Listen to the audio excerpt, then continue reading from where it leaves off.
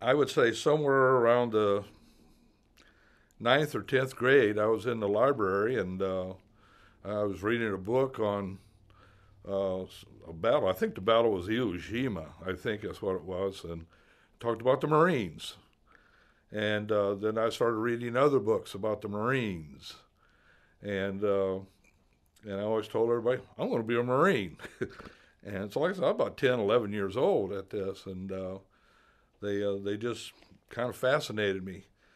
And then the uh, uh, watched a lot of the Vietnam stuff on on TV, and and uh, of course the guys that were doing, well, I mean, the Army was doing a lot of heavy fighting too, but it seems that the Marines captured the headlines a lot, and that's that's where I want to be. I want to be with those Marines. And uh, so, in uh, end of my junior year of high school, 1968, I joined the Marine Corps and I went to Parris Island boot camp and graduated uh, out of boot camp, went to ITR at Camp Lejeune, and uh, from there I stayed for the next 16 years. And then out of the blue, I would happen to be a series gunnery sergeant at Parris Island at the time. I said, "Hey, Moore, there's an Army general on the phone for you." I, I didn't know no Army generals, and it was Andrew P. Chambers. First Cavalry Division Commanding General. He says, a mutual friend of ours says you're getting out of the Corps. And he talked to me a little bit. He says, well, how'd you like to draw for the Army? Because that was my primary MOS. I was a 4611 combat illustrator. And uh, I said, I'd like to think about it. I thought about it. I said, yeah, I'll do it. And so in uh, 1984, I, Fort Hood, I checked into Fort Hood as the division illustrator. Uh, one of the things that I was involved in a lot was uh, uh, recruiting, uh, helping develop recruiting posters and uh, uh, advertising.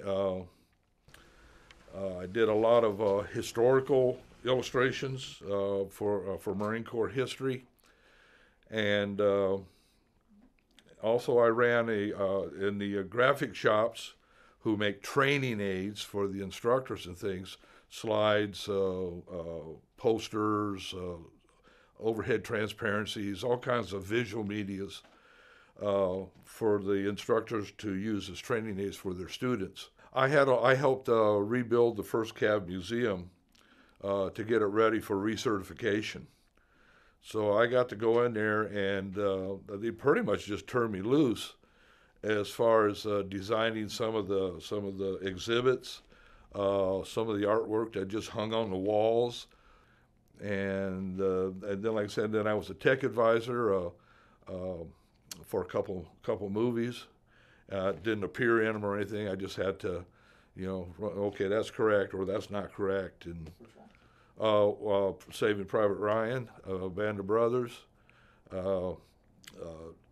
I didn't. Ha- I I was a tech advisor, but yet I wasn't. I was feeding information to Dale Dye when they were down in New Zealand form, uh, fr- uh, filming the Pacific. And uh, I had a, a very large uh, pile of information on Iwo Jima because uh, I knew the man who took the first flag raising pictures, Lou Lowery.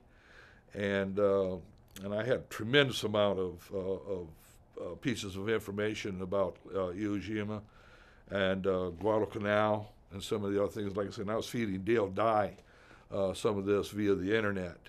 And uh, that was one thing about uh, Spielberg and Hanks is they wanted uh, as much accuracy as possible.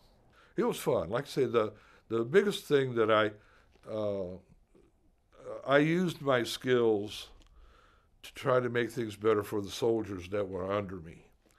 I enjoyed soldiers, Marines. Uh, I have really enjoyed going out in the field with them. Uh, even after I retired, uh, I commanders would invite me to come out with their units uh, to take pictures and things so that I could draw from them, you know, and do things for the companies and the regiments and battalions. And uh, I would sit down. I'd get down in the dirt with them in the mud and take pictures and sit down and eat chow with them. And you know, it just I just love being with the with the people. That's probably one of the biggest things that I missed.